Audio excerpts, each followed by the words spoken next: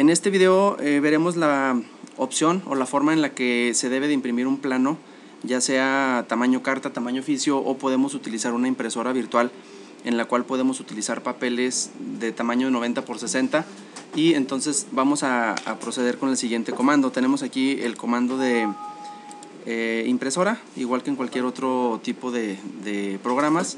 Luego aquí vamos a elegir para, em, en primer lugar, bueno, si queremos utilizar aquí una impresora virtual para simular una impresión en tamaño carta u oficio, vamos a utilizar esta que, esta que viene por aquí. Em, es esta Microsoft XPS en caso de que no tuviéramos una impresora, en caso de que la tengamos en casa, pues podemos utilizar directamente ya la, eh, la impresora Epson, la HP, la, que tengan ahí. Y aquí podemos, bueno, como en, como en todos los, tipos de impresora normal, tenemos dos opciones, que es, eh, bueno, la tamaño carta o tamaño oficio. En este caso, por ejemplo, vamos a elegir una tamaño carta para ver la forma en la que y la escala a la que nos puede coincidir esta, en este tamaño de, hoja imprimir este plano que tenemos acá de fondo. Entonces vamos a darle la opción aquí de ventanas. En primer lugar seleccionamos la impresora, en segundo lugar elegimos el tamaño de papel y el siguiente sería eh, elegir aquí la ventana que es el área que tenemos que imprimir.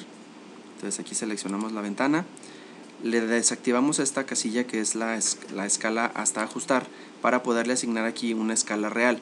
Aquí vamos a cambiar de pulgadas a milímetros. Aquí siempre vamos a manejar un mil, el número mil que significa 1 es A. Y en esta parte de aquí de abajo vamos a utilizar la opción que dice, eh, por ejemplo, vamos a utilizar la escala 100. Entonces aquí sería 1 es A, 100. Aquí nos dice, cuando nos marca estos márgenes rojos es porque el tamaño de lo que se va a imprimir está demasiado grande, entonces hay que, hay que irlo reduciendo. Voy a ponerle, por ejemplo, 200, sigue grande, 500, eh, vamos a ver si escala 1 a 500, fíjense, ahí en escala 1 a 500 ya nos quedó el dibujo eh, dentro de la hoja, pero ahora el, el, tamaño de la escala 1 a 500 está demasiado pequeño, entonces podemos elegir, por ejemplo, una escala eh, vamos a ver la de la escala 300, vamos a ver si nos queda. Aquí se nos pasa un poquito, entonces tendremos que recurrir. Eh, si tenemos eh, escalímetro de abanico, ahí tenemos la opción de elegir hasta 10 escalas. Por ejemplo, yo aquí tengo en este escalímetro de abanico, tengo la escala a 400, que me encajaría perfectamente bien. O sea, no me estoy yendo tan a la 500, pero ya la escala 1 es a 400 encaja perfectamente. Y bueno ya me quedan unos márgenes un poquito eh, pues más moderados. Entonces aquí ponemos una vista preliminar y en una hoja tamaño carta así se mostraría nuestro, nuestro plano. Sería a escala. Aquí lo que pudiéramos hacer es irnos regresarnos al dibujo y escalar este margen un poquito más grande para que no nos quede tanto espacio blanco alrededor eso sería la solución para que aprovechemos más el espacio y nos queden, por ejemplo, las, la planta arquitectónica, las fachadas, los cortes, etcétera, nos queden un poquito más separados, o sea, podemos organizar esa parte del dibujo. Entonces, esa sería la parte para imprimir una, un plano en tamaño carta. Ahora viene la opción para elegir una hoja más grande, por ejemplo como los plotter que va uno a algún centro de, impresión y puede uno elegir el, tamaño 90 por 60 que es el más común para planos ya eh, para entregar tanto tareas o como profesionalmente entregar ese tipo de, de planos en ese formato.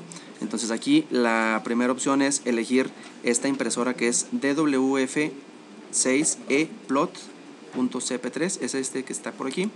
Lo elegimos Aquí vamos a, elegir el tamaño, como en todos también vienen los igual, tamaño carta, tamaño oficio, etcétera. Por ejemplo, yo aquí generé ya un tamaño eh, que lo llamé aquí Alex 90 por 60, que ya es un tamaño que me va a dar esas medidas para poder eh, poner mi, plano eh, con una escala ya más grande.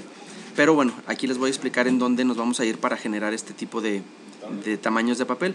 Nos vamos a ir aquí al, este botón de propiedades y luego nos vamos a ir aquí donde dice tamaños personalizados aquí si se fijan aquí ya, ya existe mi tamaño de 90 por 60 aquí le vamos a dar añadir y luego eh, nos vamos a, a, pasar por aquí para comenzar desde, desde el principio en un, en un formato que ya existe le damos aquí siguiente Aquí, por ejemplo, podemos utilizar las unidades en pulgadas o en milímetros. Cambiamos a milímetros, obviamente. Y aquí le vamos a dar, eh, bueno, en, anchura le vamos a dar 900. Y aquí le vamos a dar 600. Entonces ahí estaríamos dándole 900 milímetros por 600 milímetros, que nos representaría un papel de 90 por 60 centímetros. Entonces ahí le damos siguiente.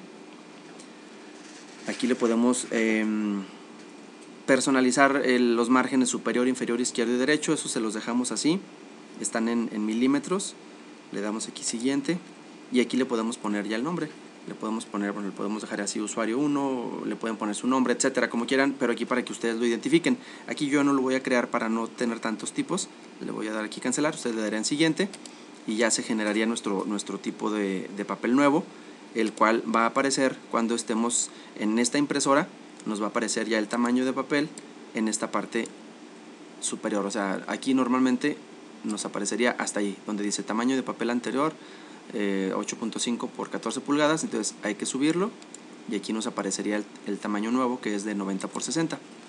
Entonces ya teniendo esa solución eh, ya lista, nos vamos otra vez aquí a ventana para elegir el el plano o el área que queremos imprimir, en este caso pues todo el plano. Se fijan aquí, miren, me aparece aquí el tamaño 900 milímetros por 600 milímetros y el plano está muy pequeño con esta escala que tenemos, eh, que fue la anterior, que fue 1 es a 400.